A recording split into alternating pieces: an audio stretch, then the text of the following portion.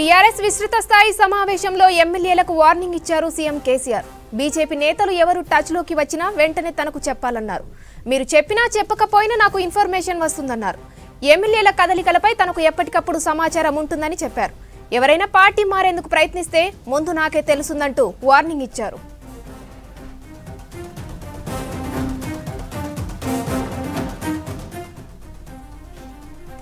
BJP ఎంతకైనా తెగిస్తుందని చెప్పిన CM తన కూతురు కవితను పార్టీ మారాలని అడిగారని ఇంతకంటే ఘోరం ఉంటుందా అని ప్రశ్నించారు. సమావేశం వివరాలు బయటకు చెప్పొద్దని వార్నింగ్ ఇచ్చారు. మీ ఫోన్లపై నిఘా ఉంటుందంటూ గట్టిగానే చెప్పారు సీఎం కేసీఆర్.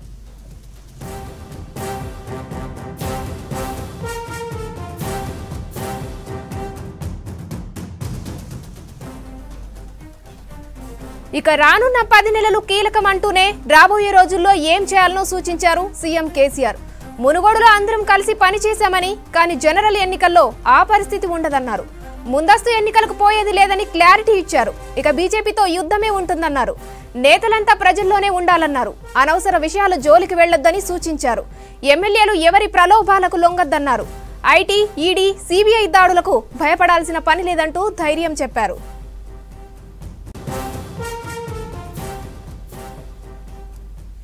ఇక ఈ సమావేశానికి సంబంధించిన మరింత సమాచారాన్ని శివారెడ్డి అందిస్తారు. టీఆర్ఎస్ విస్తృత స్థాయి సమావేశానికి ఫామ్ హౌస్ ఎమ్మెల్యేలు నలుగురు వచ్చారు. మీటింగ్ తర్వాత అందరూ కలిసి ఒకే వెహికల్లో మళ్ళీ ప్రగతి భవన్కు వెళ్ళారు. అయితే తాము నియోజకవర్గాలకు వెళ్తున్నామని చెబుతున్నారు ఎమ్మెల్యేలు. తమను చంపుతామని బెదిరింపు కాల్స్ వస్తున్నాయన్నారు. రక్షణ కోసమే ప్రగతి భవన్లో ఉంటున్నామని చెప్పుకొచ్చారు. సీఎంకు అందుబాటులో ఉండడానికే ప్రగతి భవన్లో ఉంటున్నామన్నారు. నియోజకవర్గంలో ఎప్పుడు ఇరవై నాలుగు గంటలు ఉండేటువంటి పార్టీ టీఆర్ఎస్ పార్టీ ఇప్పుడు ప్రస్తుత పరిస్థితి అప్రాపరియేట్గా వ్యవహరించడం అనేది మా విధి మా బాధ్యత కాబట్టి కేసీఆర్ గారి ఆదేశాలు ప్రజాస్వామ్య పరిరక్షణ కోసమే మేము పనిచేస్తాం. తెలంగాణ రాష్ట్ర సాధన సమయంలో ఏ పాత్ర అయితే పోషించిన పోషించడం జరిగిందో మేమందరం కూడా కేసీఆర్ గారి నాయకత్వంలో ప్రస్తుతానికి ప్రజాస్వామ్యాన్ని కాపాడే పనిలో తెలంగాణ రాష్ట్ర సమితి కేసీఆర్ గారి నాయకత్వం ఉంది కాబట్టి దీన్ని మేము ఉపయోగించుకుంటాం. ఖచ్చితంగా దేశంలో ఉన్నటువంటి ప్రజాస్వామ్యాన్ని కాపాడడంలో మా కర్తవ్యాన్ని నిర్వర్తిస్తాం. సిస్టమ్కు వ్యతిరేకంగా వాళ్ళ పో- పోయినటువంటి వాళ్ళపైన కేసులు పెట్టబడేది మా భారత పౌరుడిగా మా విధి మా బాధ్యత. ప్రగతి భవన్లో భారతదేశ రక్షణ కోసం కావాల్సినటువంటి ప్ర- ప్రణాళికలు రూపొందిస్తున్నాం. ఎవరిని వదిలిపెట్టే ప్రసక్తి లేదు. మా ప్రివిలేజెస్ మాకు ఉంటాయి ఖచ్చితంగా సిస్టంలో ఎవరు కావాలని మమ్మల్ని ఇబ్బందులకు గురి చేసేటువంటి ప్రయత్నం చేసినా వదిలిపెట్టే ప్రశ్నే ఉండదు. మాకుండేటువంటి స్వేచ్ఛను హరిస్తాం మమ్మల్ని థ్రెటన్ చేస్తాం. అంటే మాకున్నటువంటి అన్ని సౌకర్యాలను వాడుకుంటాం. ఖచ్చితంగా పూర్తి స్థాయిలో బుద్ధి చెప్తాం. కుట్రదారుల ఎత్తులను చిత్తు చేయడం కోసం ఇంకా ప్రణాళికలు రూపొందిస్తాం. భవిష్యత్తులో తెలంగాణ రాష్ట్రం భారతదేశాన్ని కాపాడిందనే గొప్ప పేరును సంపాదిస్తాం. మేము బిజినెస్ మ్యాన్ కాదు లేకుంటే బిజినెస్ పార్ట్నర్షిప్ లేదు. మేము ప్రజాస్వామ్య పరిరక్షకులుగా ఉన్నాం కాబట్టి ప్రజాస్వామ్యాన్ని కాపాడే పనులు ముఖ్యమంత్రి గారి ఆదేశాల మేరకు మేము ముందుకు పోతాం. ఎట్టి పరిస్థితుల్లో కాంప్రమైజ్ అయ్యే పరిస్థితి లేదు. వాళ్ళు ఏదైతే ఇన్స్టిట్యూషన్స్లను వాడుకొని రోజుకొకరు చొప్పున భయభ్రాంతులకు గురి చేసే ప్రయత్నం ఎవరైతే చేస్తారో ఖచ్చితంగా అదే ఇన్స్టిట్యూషన్స్ ద్వారా వాళ్ళను అంతమొందించే ప- పద్ధతిలో ప్రజాస్వామ్య పద్ధతిలో మేము ముందుకు పోతాం.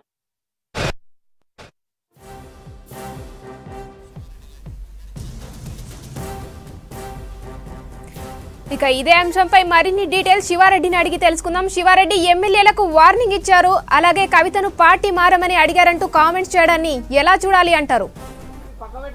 ఒకటి ఉమశ్రీ ముందు ఓ నలుగురు ఎమ్మెల్యేల విషయాన్ని ప్రస్తావిస్తూనే ఎమ్మెల్యేలు ఎంపీలు ఎమ్మెల్సీలు పార్టీ మారే ఆలోచన ఉన్న ఉంటే విరమించుకోవాలని ఆయన ఇండైరెక్ట్గా చెప్పిండ్రు. ప్లస్ ఎవరైనా వేరే వాళ్ళతో వేరే పార్టీ నేతలతో ఈ ఫోన్లు మాట్లాడము ఫోన్లో దొరికిపోతామని సిగ్నల్ యాప్లు మాట్లాడము లేకపోతే వాట్సాప్ కాల్స్ మాట్లాడితే దొరికిపోతాం. ఇట్లాంటి భ్రమలు కూడా ఉండొద్దు. మీరు ఖచ్చితంగా మీకు ఎవరైనా ఫోన్ చేసి మిమ్మల్ని మిమ్మల్ని ప్రలోభ పెడితే ఆ సమాచారాన్ని వెంటనే నాకు చేరవేయాలి. మీరు చేరక వేరకపోయినా మీరు చెప్పకపోయినా కూడా ఆ విషయం నా దాకా తెలుస్తుంది నాకు తెలుస్తా తర్వాత పరిణామాలు వేరే ఉంటాయన్న విషయాన్ని ఒకటి చెప్పిండ్రు. ఈ నలుగురు ఎమ్మెల్యేల విషయాన్ని నలుగురు ఎమ్మెల్యేలను హీరోలుగా మునుగోడు ఉప ఎన్నిక వేదిక మీద ఎట్లయితే ఈ నలుగురు హీరోలు అని చెప్పిండ్రో ఇక్కడ కూడా సేమ్. ఈ నలుగురు హీరోలు వీళ్ళను బీజేపీ కొనే ప్రయత్నం చేసింది. వీళ్ళు సమాచారం ఇచ్చిండ్రు కాబట్టి మనం బీజేపీ వాళ్ళని దొరకబట్టినాం. దీనిలో నెంబర్ వన్ నెంబర్ టూలు కూడా మన దగ్గరికి వస్తారు. నెంబర్ వన్ నెంబర్ టూల ప్రమేయం కూడా ఉంది. త్వరలో సిట్ ఆ విషయాన్ని తేల్చబోతుంది. ఇట్లాంటి విషయాలను కూడా సీఎం కేసీఆర్ ప్రస్తావించారు మెయిన్గా పార్టీ ఎమ్మెల్యేలైనా ఎమ్మెల్సీలైనా ఎంపీలైనా పార్టీ లైన్లో ఉండాలి. పార్టీ క్రాస్ కావద్దు పక్క చూపులు చూడొద్దు. పక్క పార్టీలకు పోవాలన్న ఆలోచనలను విరమించుకోవాలనే విషయాన్ని ఎక్కువ ఆయన ప్రస్తావించారు ఫోన్లు మెయిన్గా ఫోన్లు నిఘా మా మీ ఫోన్ల పైన నిఘా ఉంటుందని ఆయన వార్నింగ్ ఇచ్చిండ్రు. మీ ఫోన్లు మాట్లాడితే ఆ విషయం ఖచ్చితంగా మాకు తెలుస్తుంది అన్న విషయాన్ని చెప్పిండ్రు. ఇంకా పక్క పార్టీలు ప్రలోభ పెడతాయి. బీజేపీ అనేక ప్రలోభాలు పెడుతుంది. అనవసరంగా పోవద్దు. మూడోసారి టీఆర్ఎస్ అధికారంలోకి వస్తుంది. మీరు అనవసరంగా అటు పోతే అనవసరంగా మీరు ప్రలోభాలకు లొంగితే ఆ విషయం నాకు తెలుస్తుంది. నాకు తెలిసిన తర్వాత వ్యవహారం వేరే ఉంటుంది అన్న విషయాన్ని ఆయన వార్నింగ్గా ఎమ్మెల్యేలకు ఎంపీలకు ఎమ్మెల్సీలకు చెప్పిండ్రు. ఇంకొకటి మునుగోడు పోస్ట్ మార్టం ఉమా. మునుగోడులో ముప్పై వేల పైన ఓట్లు వస్తాయి మెజార్టీ వస్తుంది అనుకుంటే పదివేల పదివేల మెజార్టీ మాత్రమే వచ్చింది. అంత చేస్తే మున్గోడులో అన్ని వ్యవహారాలు చేస్తే అన్ని అంత సిపిఐ సిపిఎం సపోర్ట్ తీసుకుంటే అక్కడ దాకా వచ్చింది. కానీ రేపు జరగబోయే ఎలక్షన్ ఏంది? రేపు జరగబోయే ఎలక్షన్స్లో ఇట్లా వంద మంది ఎమ్మెల్యేలు ఒక దగ్గర ఉండే సిచ్యువేషన్ ఉండదు. ప్లస్ మున్గోడు ఉప ఎన్నికల సిచ్యువేషన్ కూడా ఉండదు. అప్పుడు అన్ని పార్టీలు అన్ని నియోజకవర్గాల్లో తిరుగుతుంటారు. ప్లస్ ఎమ్మెల్యేలు ఈ మంత్రులు ఎవరైనా సరే వాళ్ళ కాన్స్టిట్యూన్సీలో వాళ్ళు గెలిచేందుకే చాలా శ్రమ పడాల్సి ఉంటుంది. ఇప్పుడున్న ఈ మునుగోడు ఆపరేషన్ చూసిన తర్వాత మునుగోడు ఎలక్షన్ చూసిన తర్వాత ప్రభుత్వం మీద జనాలకున్న అభిప్రాయాలు కానీ వ్యతిరేకత కానీ ఇవన్నీ కూడా అంచనా వేసిండ్రు ఆల్రెడీ టీఆర్ఎస్ పార్టీలో. రిజల్ట్ వచ్చిన రోజు నుంచే నిజానికి ముప్పై వేల మెజార్టీ కనుక వస్తే దాన్ని రాష్ట్ర వ్యాప్తంగా సమరం చేయాలనుకున్న టీఆర్ఎస్. కానీ పదివేలకే మెజార్టీ ఆ, తగ్గిపోవడంతోనో దాన్ని అప్పటి వరకే గెలుపుని గెలుపుగానే చూస్తున్నాం తప్ప దాని మీద ఎక్కువ చేయలేకపోయింది టీఆర్ఎస్. ఆ విజయాన్ని ఎక్కువ విజయోత్సవాలుగా మార్చలేకపోయింది.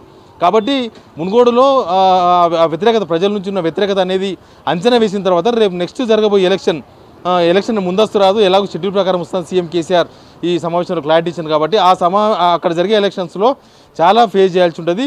బీజేపీ కూడా చాలా యాక్టివిటీ చేస్తుంది. బీజేపీ చాలా చాలా అజిటేషన్స్ కూడా చేసే అవకాశం ఉంటుంది. గందరగోళం గురి కావద్దని ఆ మంత్రులకు ఎమ్మెల్యేలకు కూడా చెప్పిండ్రు ప్లస్ ఈ నలుగురు ఎమ్మెల్యేల విషయాన్ని ప్రస్తావిస్తూనే ఎమ్మెల్సీ కవిత అంటే తన కూతురు కవితను కూడా బీజేపీ వాళ్ళు పార్టీలో చేరాలని అడిగినట్లుగా సీఎం కేసీఆర్ ప్రస్తావించినట్లుగా పార్టీలో ఉన్న నేతలందరూ కూడా చెప్తూ ఉన్నారు.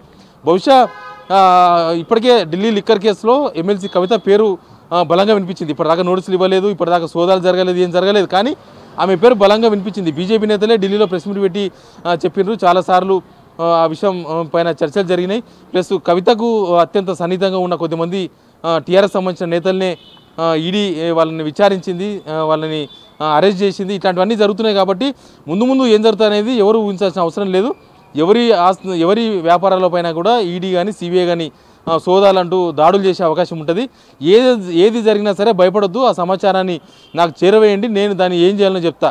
అంతేగాని అనవసరంగా ఆందోళన గురి కావద్దు అనవసరమైన గొడవలు సృష్టించుకోవద్దు అనవసరంగా పరిశాన్ కావద్దని ఎమ్మెల్యేలకు మంత్రులకు అందరూ కూడా వార్నింగ్ ఇచ్చారు. బహుశా ఈ మీటింగ్ తర్వాత ఈ మీటింగ్లో ఎమ్మెల్యేలకు ఎవరైనా ఆలోచన ఉంటే వేరే పార్టీకి వాళ్ళని ఆలోచన ఉన్నా లేకపోతే అసంతృప్తిగా ఉన్నా మీరు ఖచ్చితంగా ఇక్కడనే ఉండాలి మీరు ఏమైనా అనవసరమైన విషయాల్లో ఏలు పెడితే ఆ విషయం నాకు తెలుస్తుంది అని సీఎం కేసీఆర్ అన్ని విషయాలు నాకు తెలుస్తాయి. మీరు ఫోన్లు మాట్లాడినా నాకు తెలుస్తుంది మీరు వేరే పార్టీ నేతలతో ఏమైనా మాట్లాడినా నాకు తెలుస్తుంది మీరు ఇంకా అండర్ గ్రౌండ్ సీక్రెట్ ఆపరేషన్లు సీక్రెట్ యాప్లు పెట్టి మాట్లాడినా కూడా ఆ విషయం నాకు తెలుస్తుంది. తర్వాత పరిణామాలు వేరే ఉంటాయని హెచ్చరికలు జారీ చేసినట్లుగా ఈ సమావేశం ద్వారా అయితే మనకు క్లియర్గా అర్థమవుతుంది. మునుగోడులో గెలిచినామని చెప్తూనే ఎక్కడైతే తక్కువ లీడ్ వచ్చిందో ఎక్కడైతే బీజేపీ లీడ్ వచ్చిందో దానికి ఇన్ఛార్జ్గా ఉన్న ఎమ్మెల్యేలను మంత్రులకు వార్నింగ్ ఇచ్చిండ్రు. మీరున్న ఆ దగ్గర మీరు ఒక రెండు వేల ఓట్లకో మూడు వేల ఓట్లకో ఇన్ఛార్జ్గా ఉంటే అక్కడ టీఆర్ఎస్కు తక్కువ లీడ్ వచ్చింది బీజేపీ ఎక్కువ ఓట్లు వచ్చినాయి. అట్టెట్లా వస్తుంది? ఇన్ని ఇన్ని చేసిన తర్వాత మీరు నెల రోజులు అక్కడనే ఉండి వంద మందికి ఒక ఇన్ఛార్జిని పెట్టుకొని ఇన్ని ప్రయత్నాలు చేసిన తర్వాత ఇట్లా ఉంటుంది సిచ్యువేషను రేపు జనరల్ ఎలక్షన్స్లో పరిస్థితి ఏంది? రేపు జనరల్ ఎలక్షన్స్లో ఇలాంటి పరిస్థితి ఉండదు కదా? వంద మందికి ఒక ఇన్ఛార్జ్ని ఒక ఒక ఎంపీడీసీ ప్లేస్కి ఒక ఎమ్మెల్యే వచ్చి పనిచేసే సిచ్యువేషన్ ఉండదు. అప్పుడు ఇంకా తీవ్రతరంగా ఉంటుంది. తీవ్రంగా ప్రచారాలు ఉంటాయి. బీజేపీ కాంగ్రెస్ ఇతర ప్రతిపక్షాలను కూడా చేస్తూ ఉంటాయి.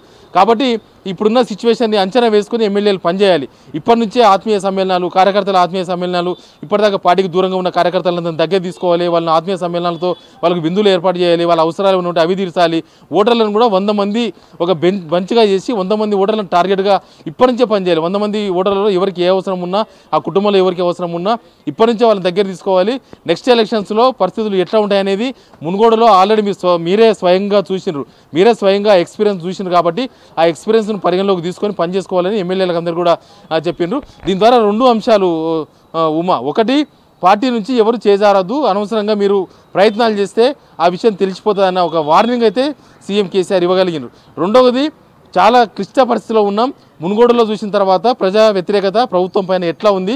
ఇన్ని చేసిన తర్వాత ఇంతమంది ప్రభుత్వ లబ్ధాలు ఉన్న తర్వాతనే రిజల్ట్ ఇట్లా ఉంటే రేపు నాడు సిచ్యువేషన్ ఎట్లా ఉంటుందో ఇంకా సంవత్సరం ఉంటే ఎలక్షన్స్ అప్పటిదాకా పరిస్థితులు ఎట్లా ఉంటావో కాబట్టి ఇప్పటి నుంచే మీ ప్రయత్నాలు మీరు చేసుకోండి ఎమ్మెల్యేలకు మిగతా నేతలకు అందరూ కూడా చెప్పింది చెప్పిండ్రు ఈ రెండు విషయాల మీద ఎక్కువసేపు ప్రస్తావించారు. కానీ ఎమ్మెల్సీ కవితను కూడా బీజేపీ నేతలు అడిగినరు.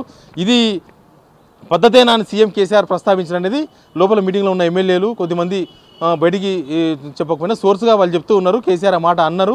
ఎమ్మెల్సీ కవితను కూడా బీజేపీలోకి ఆహ్వానించారు నా బిడ్డను కూడా పార్టీలోకి ఆహ్వానిస్తారా? ఇది ఎక్కడ దుర్మార్గం. ఇట్లా ఉంటాయి రాజకీయాలు అని చెప్పి ఆయన ప్రస్తావించినట్లుగా చెప్తున్నారు. ఇంకా మిగతా విషయాలు బీఆర్ఎస్ ఇష్యూ కానీ జాతీయ పార్టీ జాతీయ రాజకీయాలు ఇట్లాంటి ఇష్యూస్ ఏవి కూడా ఇక్కడ మాట్లాడలేదు.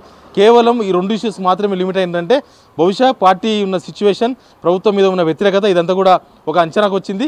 రెండు పార్టీ ఎమ్మెల్యేలు ఇప్పుడున్న పరిస్థితుల్లో పార్టీ ఎమ్మెల్యేలో మిగతా నేతలో ఎవరైనా పార్టీని కనుక వీడితే ఎవరైనా పార్టీ కనుక చేంజ్ చేసే ప్రయత్నాలు చేస్తే అది పార్టీకి ప్రమాదం కాబట్టి అట్లాంటి ప్ర ప్రయత్నాలు ఎవరు చేయొద్దని ఒక వార్నింగ్ ఇచ్చినట్టుగా అర్థమవుతుంది. ఉమా. Thank you Sivareddy